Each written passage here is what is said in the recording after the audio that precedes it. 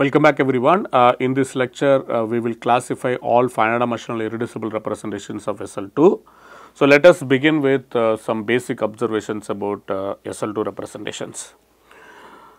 So, let us start with uh, V being a finite dimensional representation of SL2.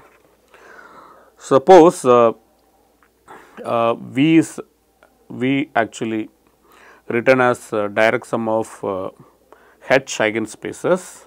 So, let us call like V A to be the eighth eigenspace. Okay, that means this is those vectors in capital V such that H V acts as A V. Okay.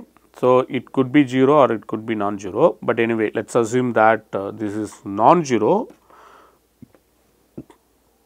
inside V, but anyway. So, we are going to just see the action of x on this, so not a problem. So, for A in C, so this is called uh, eighth eigenspace okay, or weight space. So, if we take this weight space corresponding to the weight weight uh, A, so A is called weight. So, then uh, we are going to see that uh, how other elements of SL2 basis elements of SL2 acts on this.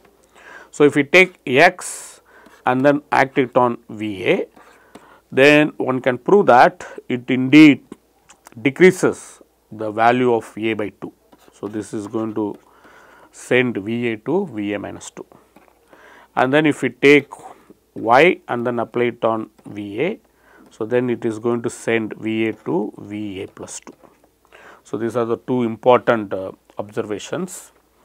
So, here for any A, VA denotes the weight space corresponding to the weight A. So, this is the definition of VA. Now, let us check this. Let us start with the vector V in VA. Okay. If it is 0, then there is nothing to prove. Otherwise, what will happen? We want to calculate what will happen to xv. Okay. But what we know, there is this relationship between h and x. The bracket hx is given by hx minus xh, okay, which is exactly equal to given by 2x. Okay. Now, if you take these elements and then apply it on V, then what we get? We get exactly h x v equal to x h v minus 2 x v. But note that h v is nothing but a v. So, x h v is going to be x a v which is going to be a x v. So, that tells you that this is going to be a x v minus 2 x v.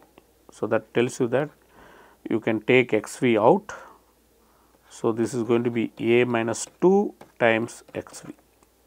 So, h of x v is given by a minus 2 x v. So, that means the weight of x v if it is non-zero is going to be equal to a minus 2. So, then it is clear from this calculation that x applied on V A is going to be subspace of A V A, V A minus 2. And similarly, if we take V in V A and apply Y V and what will be the H eigenvalue of that. So, we are not only saying that the it is mapped to something, it is also H eigenvector okay, if it is not 0.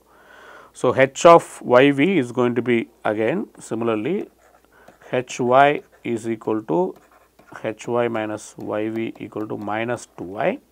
So, this is oh sorry this is h. So, this is y h v minus 2 y v. Similar calculation says that this is going to be a. So, h v is a v sorry this is going to be minus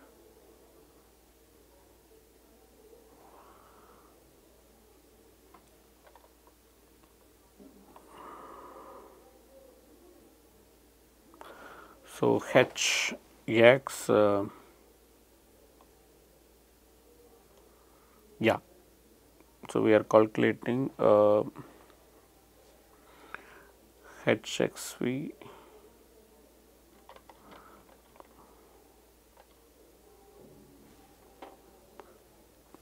sorry oh, it should be the other way. So, when you apply x it should increase when you apply y it should decrease actually.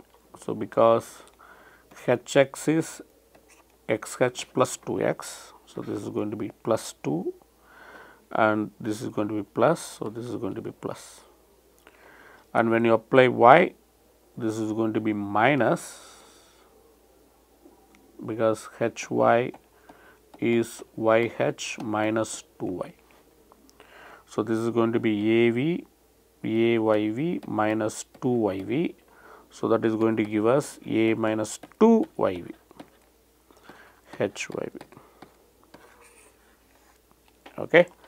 So, basically H uh, eigenvalue is A then X actually increases that A to A plus 2 and then Y actually decreases that to A minus 2. Okay. So, now uh, from this one can immediately conclude that if we take any non-zero SL2 module then that must contain some highest weight vector. Okay. So, as a corollary we can see that if V is non-zero SL2 module of course finite dimensional then V contains a non-zero of course by definition it is a non-zero highest weight vector. Highest weight vector. So, recall what is highest weight vector okay? Something called highest weight vector. So, let us call it u which is inside capital V. And it is highest weight vector with uh, highest weight let us say A in C. So, then HU should be AU and then XU should be 0. Okay. So, that is why it is called highest weight vector because the weight is not increased by the action of SL2. So, uh, what is the proof? The proof is you start with V being actually a non-zero SL2 module. So, that means H will have some eigenvector, will have eigen vector inside capital V because H is being operator and we are working over complex numbers any operator will have eigenvalue. So, there will be corresponding eigenvector take that eigenvector to be V which is inside uh, capital V. Let us say the eigenvalue is B, okay. this is the weight of this V. So, weight of V is B. So, B could be 0 and all we do not need to worry about it. So, now what happens if you apply x? If you apply x on V, so this is going to lie inside V B 2 because the action of x actually increases the weight by 2. So, that means if you apply x on v that is going to give you v b plus 2. Now, you keep applying okay keep applying x. So, then what will happen? So, we will be getting x power i v which is going to lie inside b plus 2 i. Note that b plus 2i are all are distinct values inside C. So, if xi v if it is actually non-zero for all i then that will give you distinct eigen eigen vectors for the distinct eigen values b plus 2i. So, then using that you can produce infinitely many linearly independent vectors inside capital V. So, that is not going to happen because V is assumed to be finite dimensional. So, that implies that there exists I inside Z plus such that x power i v is 0.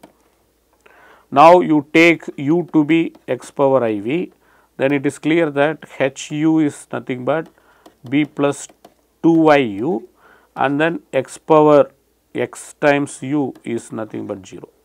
Okay. You take i minus 1, here you get i minus 1. So, you take u to be x power i minus 1 v because x power i v is 0. So, then x u becomes 0 and since u is eigenvector for h, so it has the corresponding eigenvalue. So, a you take it to be b plus 2 i minus 1. So, that means uh, we have high, highest weight vector inside capital V. So, now what we can do with this highest weight vector? Okay, you start with V which is a finite dimensional finite dimensional uh, representation of SL2. So, let us say V which is non-zero highest weight vector inside highest weight uh, vector with weight let us say capital A sorry small a. So, as of now we know that this weight can be only complex number. Okay. Now, using this weight let us see what one can do. So, let us just relabel maybe we can actually call this uh, W naught. Okay. So, W naught is the highest weight vector with the weight A. So, now we know that H W naught is equal to A W naught and X W naught is equal to 0. So, as before we have this W naught that is coming from our earlier lecture. Okay. Now, you see what one can do using W naught. Now, we can actually apply y on W naught and then consider various powers of y applied on W naught and then see what one can get it from that. So, let us take uh, this uh, decorated vector call it Wi. So, this coefficients not coefficient the scalars are adjust so that the formulas works very well.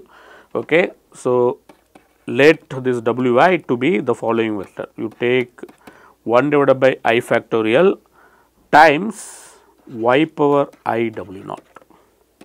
Okay. So, basically what we are interested in, we are interested in understanding SL2 submodule generated by W naught. So, SL2 submodule generated by W naught. So, that is what we are interested in. So, indeed we are going to prove the SL2 submodule generated by W naught can be obtained from W naught by applying various powers of Y. So, we do not need to really worry about the H, H action or W action, sorry uh, X action. So, the H action is going to give you scalar on W naught, X is going to kill. But instead of taking various powers of H, X and Y, so that is the way to get a submodule generated by W naught. So, we are going to say that uh, it is enough to take only the powers of y and then we can still get uh, submodule of uh, uh generated by W naught. So, this is something we have seen already. So, this is simple exercise which says that this is going to be span of some complex number where you can take some some like all possible powers okay like x power some m1 h power m2 and then okay let us call it sigma of this. M3 where this m1 m2 and m3 these are all various powers so exponents running over z plus and this sigma is just a permutation of these three letters x h and y. So if you take all possible permutation and all possible powers and then you apply it on W naught, then you will be getting this entire span of this uh, SL2 submodule generated by W naught. But now what we are going to climb, this is the powerful climb indeed, this SL2 module generated by W naught is going to be just span of these WIs. Okay. So, then later we will see that uh, there we can choose some power such a way that uh, uh, something will be actually killed. Okay. Okay, so let's let's try to prove this one by one. So we will actually once we set this uh, wi which is 1 divided by i factorial times y power i w naught. So then one can see that this SL2 module generated by w naught this has this very explicit basis Okay. So, indeed one can prove much more stronger statement the basis of this. So, this is uh, span by so this is the basis W naught, W 1 etcetera W m. Okay. And these W i's uh, they are basis of this SL2 module submodule generated by W naught inside this capital V. Okay. So, this is uh, uh, the action of SL2 on these vectors are given as follows. So, when you take H acting on Wi, you are going to get m minus 2i Wi. So, this, this is exactly the formula that we have seen already. Okay. So, this is the formula that you see it in uh, SM. So, x Wi is going to be m minus i plus 1 uh, W i minus 1 where we said that W minus 1 is 0 and then i varies from 0 to m. Okay. And y W i is going to be i plus 1 W i plus 1 again we said that W m plus 1 is 0 and again i runs over 0 to m. Okay.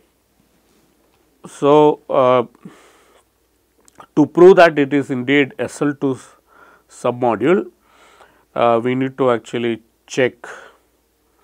Uh, so, obviously, like if you take the SL2 submodule generated by W naught, so that is going to contain all this uh, W naught etcetera W m because they are all powers of uh, y power applied on W naught. Okay. So, the one uh, side is obvious. So, the, to prove the other side what we will prove we will take this uh, span of this. Okay. Then we directly prove that it is going to be SL2 submodule. Then that is going to say that uh, because this is SL2 submodule containing W naught. So, this must contain the submodule generated by W naught. So, then that will force that these two modules are same. Okay. Let us call this is uh, W 1 and this is W 2. Now, it is clear that W 1 contains W 2. Okay, W 1 contains W 2, this is easy. Why? Because W naught in W 2 and if you take y power W naught that is going to lie inside W 1 that forces W 2 is contained in W 1. Okay. So, now we to prove the other side to prove W 2 contains W 1 it is enough to prove that W 2 is indeed SL 2 module. SL2 submodule. So, once you prove it is SL2 submodule, then the W naught is being inside W2 will imply the submodule generated by W2 which is W1 is subset of W2. So, that will imply that W2 is equal to W1. So, this is the strategy. To prove this is indeed SL2 submodule, we need to check that these formulas indeed gives you SL2 action. So, that I will leave it as exercise because this is routine routine exercise. Okay. Whenever you take uh, H x minus x h applied on W i, then you should get 2 x W i. This is the one thing that you need to check. Similarly, there are other two formulas that also one can check. So, check that, okay, check that W2 is SL2 submodule. Okay, this is plain computation, so we do not want to check. Now, we will verify these formulas. Okay. Once we verify these formulas, uh, the, then these formulas also actually immediately tells that. Uh, so, I, I, yeah we do not need to check these things because it is already part of capital V. So, these formulas immediately tells you that uh, W 2 is indeed submodule. So, we do not need to check anything. So, only thing we need to check is we need to check that uh, these formulas are true. So, let us check that okay maybe I will check uh, uh, only the uh, first formulas okay. So, it is easy to see that uh, if you apply y on wi so this is going to be y 1 divided by i factorial applied on y power i w naught. So, this is going to give me exactly 1 divided by i factorial y power i plus 1 w naught so, then this is you multiply i plus 1 and then divided by i plus 1. So, then it gives me exactly i plus 1 times w i plus 1. So, the third formula is easy to verify. Okay. So, this is done. So, now let us verify the first formula h w i should be m minus 2 i w i.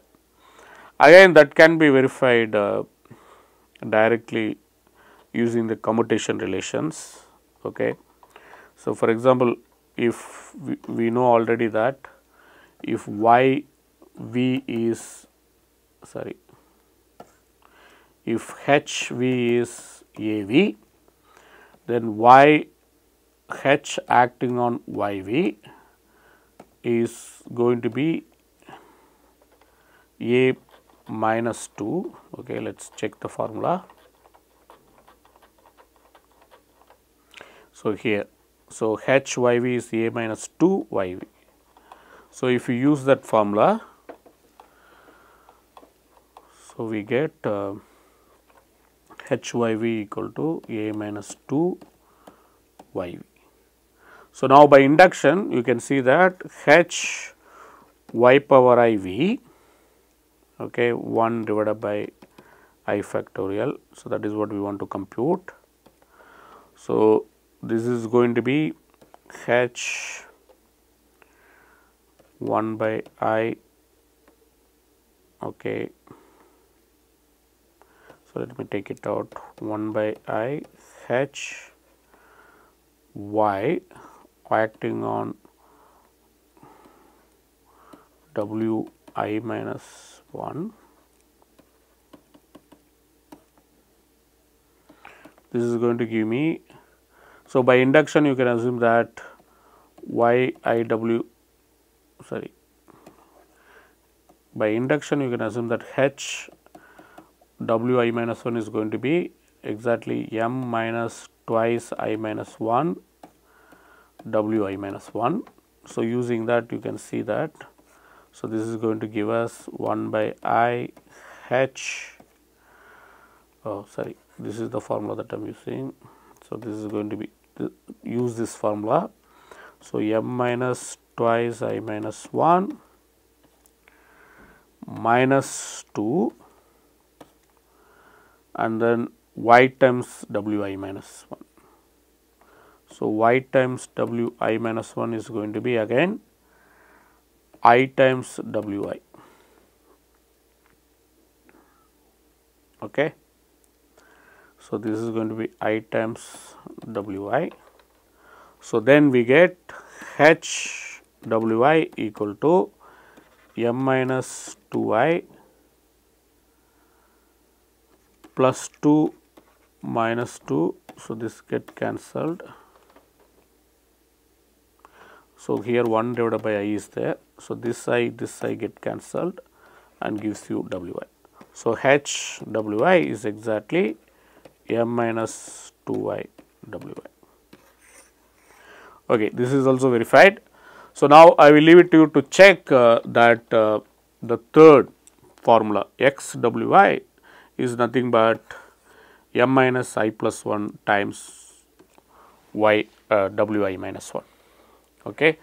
So, basically these formulas are true and these formulas immediately tells that because V is SL2 submodule SL2 module. So, the span of W naught etcetera Wm is also SL2 submodule and that forces that W1 has to be equal to W2. So, in particularly all the eigen uh, values of uh, H eigen values of these vectors they are all distinct. So, this will be linearly independent. So, that will form a basis for this uh, SL2 module generated by W naught. So, now what is the immediate corollary of this result?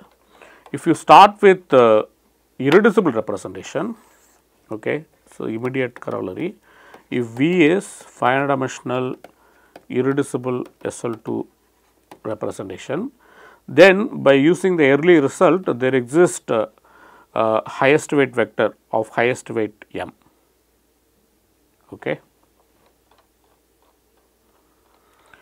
So,